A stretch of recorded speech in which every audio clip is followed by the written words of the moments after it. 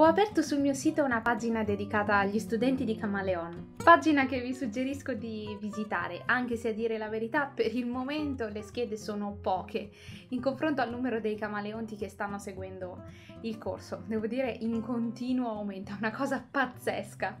Una delle cose fondamentali che eh, i camaleonti hanno dovuto fare per poter avere questa scheda sul mio sito è stata quella di scrivere una brevissima autobiografia di poche righe. In tanti, devo dire la verità, si trovano in difficoltà quando si tratta di scrivere poche righe su se stessi e soprattutto è difficile trovare il modo di dire in modo interessante qualcosa su noi stessi. Saper dire qualcosa di interessante su noi stessi in poche righe, oltretutto, è un'attività molto sfidante e allo stesso tempo utilissima, soprattutto in questo periodo dove eh, le persone si informano sul web, dove tutto avviene in modo istantaneo e soprattutto in un mondo dove gli utenti non perdono troppo tempo eh, su quelle cose che non risultano, come dire, mm, interessanti e che quindi si presentano in modo noioso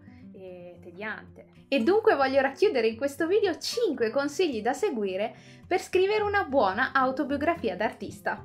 Numero 1 in prima o terza persona? È il grande dilemma. C'è chi dice che va scritta in prima persona, c'è chi dice che va scritta in terza. La versione preferita anche per quanto riguarda un punto di vista di comodità e di condivisione sui social è la terza persona. Dà anche, come dire, un'impressione migliore poiché sembra che qualcun altro stia scrivendo di noi stessi. Dobbiamo dire infatti che la prima persona sembra un, un modo autoreferenziale, ma dipende molto da come è scritta questa autobiografia.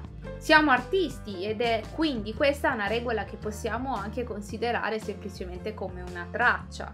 Se vi sentite di scrivere la vostra autobiografia in prima persona, nessuno vi porterà in carcere. Semplicemente state attenti a non essere troppo autoreferenziali. Questa cosa la potete facilmente evitare con ad esempio un po' di autoironia, di cui parleremo tra poco. L'importante è che voi siate a vostro agio. Se proprio volete andare sul sicuro, allora utilizzate la terza persona. Consiglio numero 2. Parla a un bambino.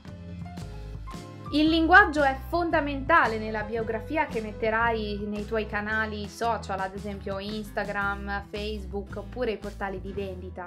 Dunque sì, il più semplice possibile. Immagina di raccontare la tua storia a un bambino. Perché questo? Beh, semplicemente perché le persone che entrano in contatto con i tuoi contenuti, che siano i tuoi post o le, la tua uh, autobiografia, sono di qualsiasi genere, di qualsiasi età, di qualsiasi livello culturale. Sia che queste persone siano entrate in contatto con i tuoi contenuti volontariamente o per caso. Dunque, parla potabile. Punto numero 3. Humor. Sei un creativo e ai navigatori piacciono le persone simpatiche, semplici, alla mano. Inserisci quindi nella tua autobiografia un pizzico di ironia, ovviamente senza esagerare. Consiglio numero 4. Aggiornamenti.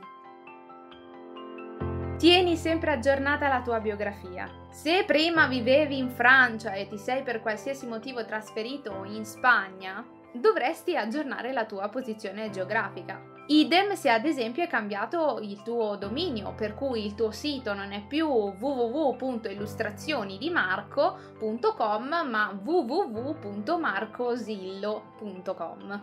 Quinto e ultimo consiglio, differenzia l'autobiografia breve da quella lunga. La biografia breve è quella che vediamo ad esempio su Instagram. Pochi caratteri per dire chi sei, dove sei e cosa fai. La biografia breve deve essere dunque una frase curiosa oppure forte che porta le persone a proseguire, a sapere di più di te, quindi magari a vedere i tuoi post su Instagram oppure a guardare il tuo portfolio online o a leggere i tuoi articoli. La biografia lunga invece è formata da molte più informazioni, come ad esempio dove siamo nati, che cosa ci ha portati a fare l'artista, quali sono stati, ad esempio, i tuoi percorsi di studio, i premi che hai vinto, i concorsi a cui hai partecipato, i tuoi successi e così via. La tipica frase di un artista che tutti noi abbiamo detto almeno una volta nella vita è voglio che le mie opere parlino al posto mio. Tutto per non dire sono timido e non ho voglia di parlare di me.